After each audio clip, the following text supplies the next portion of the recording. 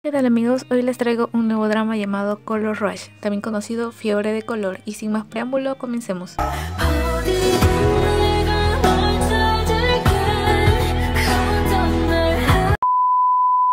Historia conocemos a Choi Young-woo. Él sufre de monocromatismo, es decir, ceguera neurológica. Solo puede ver el mundo de color gris, por lo que nunca diferenció los colores de su madre, quien padece la misma enfermedad y lleva desaparecida cuatro años. Por el momento vive con su tía, quien no ha dejado de buscar a su hermana. Young-woo cambia constantemente de colegio, con qué finalidad de no encontrarse con su prove. Pero ¿quién es un prove? Es una persona que puede hacer que un mono pueda ver colores. Debido a esto, un mono puede obsesionarse con su prove, no lo deja y hasta puede llegar a matarlo. Este colegio, Jung-woo tiene un compañero muy misterioso, aunque esta historia resulta muy familiar. Me llamo Edward Cullen. ¿Tú eres Bella? Sí. Aquí conocemos a Go Yoan, que sin querer al quitarse la mascarilla, Jung-woo presenta por primera vez una fiebre de color. Al estar muy impactado se desmaya. Al despertar aún sigue mareado, aunque conserva algunos colores. Él asustado no quiere saber nada de Go Yuan, aunque él le dice que le va a ayudar, que ya sabe que es su prove. Aunque Woo quiere alejarse de él, Go Yuan insiste en enseñarle los colores. Woo poco a poco va confiando en su presencia, pues aquí vemos al prove enseñándole los colores. Azul marino, azul cielo, azul ropero, azul ladrillo, no entendemos nada, pero miles y miles de colores más. E inesperadamente Go Yuan se quita la mascarilla.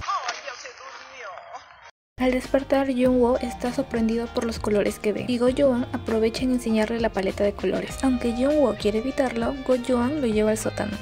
Al despertar, le enseña un arco iris improvisado por él, aunque le dice que será la última vez que lo hará. Jung-woo no tolera esto e insiste que le enseñe más colores, pero Go-yoon mantiene su palabra. Después de ese disgusto, Go-yoon le dice que aún molesto se ve lindo.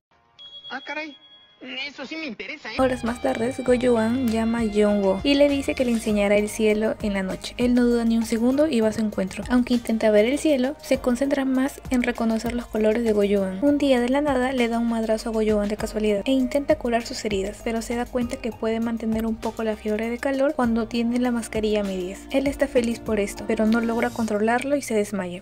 ¿Qué? Se despierta en la enfermería horas más tarde y Go-Yuan le dice que ha llorado sin parar, mencionando una y otra vez el diadema de su madre. Go-Yuan trata de tranquilizarlo, pero Jung-woo tiene miles de pensamientos rondando en su cabeza. Uno de ellos es, si Go-Yuan sabe que él es el mono, ¿por qué no intenta huir de él? Sin embargo, todos los días se aferra a su presencia, así que Jung-woo no soporta más y dice que lo quiere mantener para siempre. Algunos días y Jung-woo no sabe nada de Go-Yuan, ya que este es un idol aprendiz, constantemente suele faltar a la escuela. Pero Go-Yuan no se olvida de él y lo lleva a una exposición de arte. Aquí aprovechan a pasar más tiempo juntos, a conocerse aún más y también para que Jung-woo pueda conocer más colores. Al final, el probe intenta abrazarlo, aunque él se pone nervioso, lo invita a su casa. Aquí, gracias a la ayuda de Go-Yuan, puede reconocer los colores que tanto su mamá describió de ella misma. Él termina llorando ya que no sabe nada de ella. ¡Te advertí! ¡Pregunté! ¡Y no Nadie me dijo que esta escena era triste. ¡Nadie! El día de Jungwoo llega de viaje y él acompaña al paradero. Ya que él estaba sin mascarilla, podía ver los colores. Cuando él se fue, los colores fueron desapareciendo bruscamente, manteniéndose él en un vacío existencial. Su tía le dice que lo sabe todo, de que él es su prove y que otra vez deberían cambiar de colegio, aunque él le dice que no, que él es fuerte y él va a hacer la diferencia. Pasan los días y la obsesión de Jungwoo hacia Go Yuan incrementa, lo que está pensando secuestrarlo. ¿Qué? Al salir de la escuela, los colores vienen y van, por lo que él entra en una crisis. Va a una ferretería a comprar una soga y ve algunos tutoriales en YouTube. Al siguiente día, Goyuan le dice que también quiere conocer su punto de vista, es decir, su mundo gris, por lo que le lleva a una mini exposición donde hay varios cuadros en blanco y negro. Jungwoo se da cuenta que cada vez su obsesión va incrementando, por lo que decide tomar la última decisión, suicidarse.